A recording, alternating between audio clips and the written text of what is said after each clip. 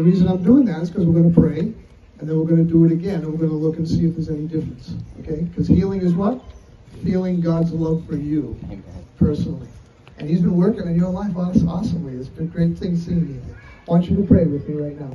I want to say, Father, in the name of Jesus, In the name of Jesus. I thank you I thank you that you've saved me. that you saved me. I want you to heal I want you to heal my back. I want you to do I want you to a creative miracle.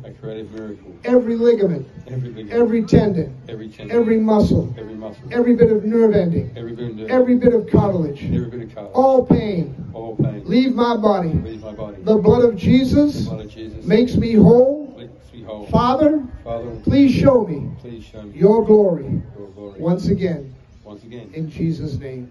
In Jesus' name. Father, touch him right now, I pray, in the name of Jesus. Amen.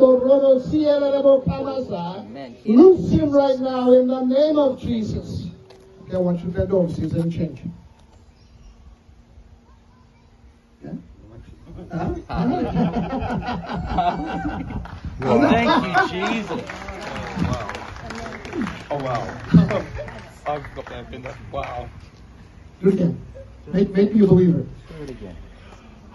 God's healing you. Amen. Hallelujah, Praise God. Hallelujah. Praise God. Let's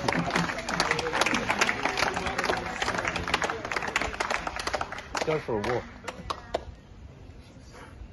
I haven't been able to move that Say far. it, say it. Say it in the faith. I haven't been able to move or bend that far in years. Amen. Healing is feeling God's love for you personally. Hallelujah. Praise This dear lady came a little bit later on. What was you? Can you me record.